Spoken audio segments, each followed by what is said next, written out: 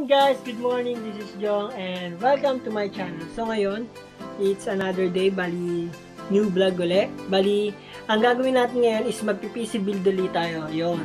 Bali, yung mga PC build na natin, una-una is yung sa akin. And then, pumangalawa yung kay Marco na binili natin sa Gilmore. And then, ito naman is um, sa kaibigan ko dito. Sa kapitbahay ko lang rin siya. Dito sa baba. Bali, ang ginawa naman niya is inisa-isa niyang build Bali, bumili muna siya ng processor, board, tapos kasi isa hanggang sa makompleto niya. And then ngayon, nakompleto na. Which is good thing talaga yun kung gusto mo talaga mag PC build, di ba? Kung gusto mo talaga, di ba, gagawa ka ng paraan kahit medyo matagal. Which is okay na okay siya. Kasi kahit ako dati, ganun din ginawa ko pa isa-isa eh. Hanggang sa nakompleto, na, nakompleto ko and then yun, binuo ko. Kaya sa mga gusto mag-build dyan, yan, okay lang yan kung paisa-isa nyo kung gusto nyo talaga yung isang bagay, di ba? Kahit um, processor muna, pag may nakahanap, pag nagkapera uli, um, video card naman, yun, ganun lang, di ba? So ngayon, babalikan namin kayo mamaya once na nandun na ako and then papakita ko sa inyo yung specs. And before that, intro muna.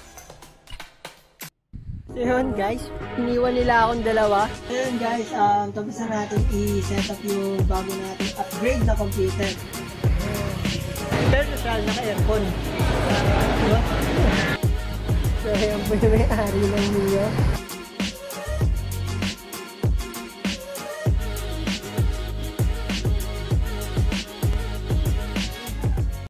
Bali ito yung mga gagamitin nating mga unit sa install natin yung mga parts. Bali ito, B450 na Tomahawk Max yan. Ganda rin yan. Kasi ano na may RGB na rin na controller rin dito. Eh. Yan o. Ah. Then meron siyang isang NVMe na slot. Then apat din na RAM yung slot niya. Kaya maganda rin. Tsaka mas mataas siya kaysa dun sa ano ha, ah, sa dun sa mortar. Itong ano, Tomahawk. And then, next naman natin is yung processor na ikakabit natin is ito. Yan. Ryzen 5 na 3600. Yan. So, maganda yan yung 3600 kasi ma-fully maximize nyo yung itong ikakabit nating na RAM. Yan. Which is ito yung RAM natin is 8 gig 8 gig na ano, T-Force na RGB din. Bali ang, ang ano na to 3200 Hz. Yan. So, itong 3600 na to, ma-fully maximize nyo kaysa dun sa in-install natin na 2600. Kasi pag 2600 lang yung in-install natin, hanggang 3000 MHz lang yung kaya niyang ano, i-maximize. So, hindi niya mo fully maximize yung RAM na binili mo. And then, next na natin na ilalagay is ito. Yung SSD na NVMe na M.2. 256 to. Bali, dito natin ilalagay yung system para mas mabilis. And then, yung storage naman natin is ito. Yung hard drive na 1TB na ano, Barracuda. Yan. And then, after nyan, ang ikakabit natin naman na na video card, yan. Ito pinakamalupit dyan sa lahat. Itong GeForce na GTX na ano, MSI. Yan. Bali, 1660 Super din yan. Yan. Tapos maganda rin yan, RGB rin yata ito eh. Not sure ha, pero check natin mamaya pagka-install. Yan. And then, itong isa sa pinaka-importante sa lahat, ito yung lagi ko sinasabi sa mga kaibigan ko pag magbibuild eh. Yung power supply, yan. Pag, para sa akin ha, pag yung power supply, wag nititipirin yan. Kaya ito, magandang maganda to para sa bibuild natin. Kasi ito, 650 watts to na full modular mas okay yung full modular para mas malinis tingnan pag in-install natin. Kasi yung full modular, kung ano lang yung magagamitin natin cable, ayun lang yung in-install natin. So, wala kayong masyadong makikitang maraming cable na nakalawet. Yan. So, yan, meron na tayo sa mga board natin sa loob. Ito naman yung casing natin. Yan. Deep cool na Matrix. Check natin yan mamaya. And then, itong ang gagamitin nating display yan. Ito pinakapangarap ko sa lahat eh. Yung 24 inches na 144 Hz. Yun, bagay na bagay ito dun sa binili niyang video card yan. So, yung video card niya kasi mataas talaga. Bali ito, kayang-kaya niya to dalhin. Tsaka mas smooth to sa gaming. So ngayon, ang gagawin natin is i-install muna natin yung mga kailangan ikabit sa motherboard. So, tara na.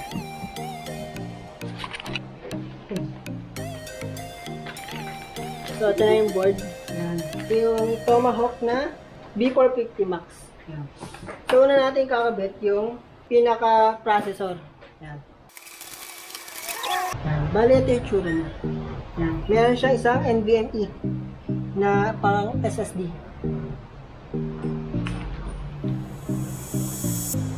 Then next, kakabit natin yung ito naman. Yung gagamitin natin yung 3600 na Ryzen 5. May nagtatanong sa akin nung nakaraan kung ba't di ko raw nilagyan ng thermal paste.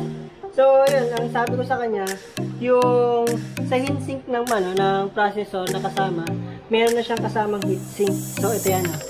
Yan, oh, may nakalagay na siyang um, thermal paste. So, wag na kayo problema kung kung saan kayo makakahanap ng thermal paste. Yan.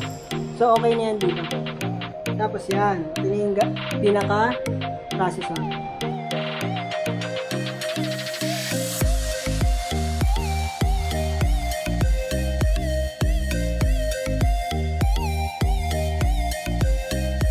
So yan, ang iingatan nyo, yung mga pins, dapat naka, nakaturo siya sa tamang araw. Ito ali, yung mga tips sa mga nalilito sa pagkabit. Itong AMD na to, dapat nakatapat din dito. ah. Dito. So, dapat nakaganto lang. Kaya sa mga magkakabit ng fan, ah, huwag nyo masyado higpitan. Yung tamang higpit lang kasi papangit yung ano eh, yung flow ng init pag masyadong nakadikit. So, isa pang tip para sa mga maglalagay ng fan. Huwag nyo basta-basta ilalagay na ganyan ha. Bakit kasi tingnan eh. So, ang gagawin natin, ikot natin. Para mas malinis tingnan.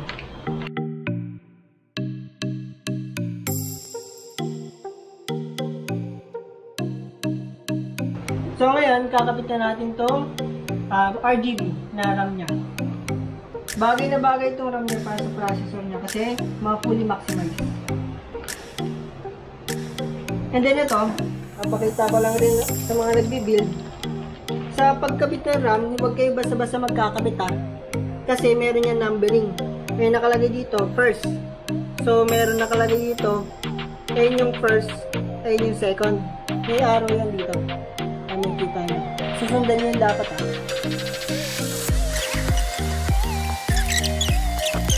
Sunod, ito na yung ilalagay nating um, SSD. Maganda to, mas mabilis to. Kaya ito yung pinili natin. Kaya ito yung recommendable. Tsaka kasi, pa hindi masyado maraming cable na kinakabit. Direkta na siya sa mismong board. May heatsink pa oh. Oh, may heatsink pa. So yun, nakabit na natin yung pinaka processor, yung RAM na dalawa, tsaka itong SSD. So ngayon, asikasuhin naman natin yung casing.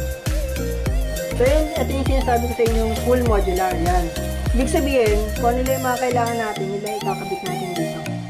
So, mas malinis siya tingnan kaysa dun sa mga ano, sa mga may fixed na cable na. Kasi masyado maraming makalat yun. Kaya mas maganda to. Gold na to eh.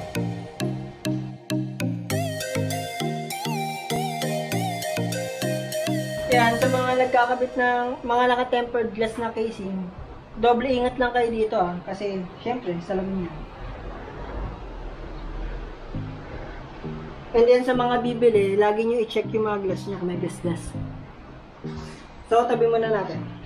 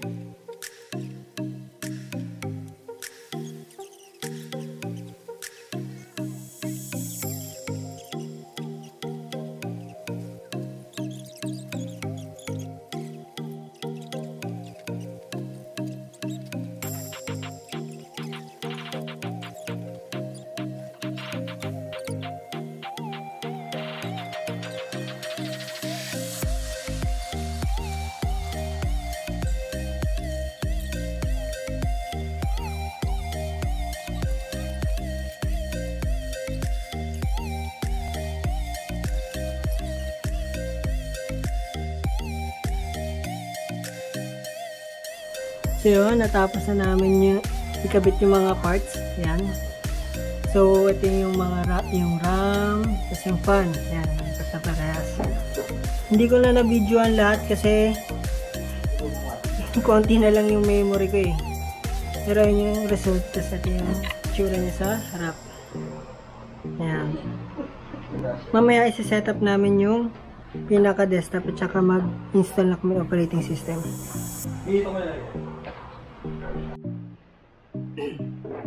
So yun guys, bali na-set up na natin yung ano, yung mga components dito sa loob. So ngayon, install na natin siya ng operating system. So ganito na itsura niya.